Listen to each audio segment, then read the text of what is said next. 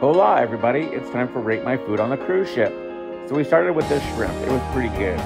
And then it was time for delicious French onion soup. As you know, I really like French onion soup, and this was really good. And then it was time for our dinner, which is a three cheese enchilada. It was pretty good and was full of vegetables. And then for dessert, it was a really, really rich chocolate cake. Very delicious.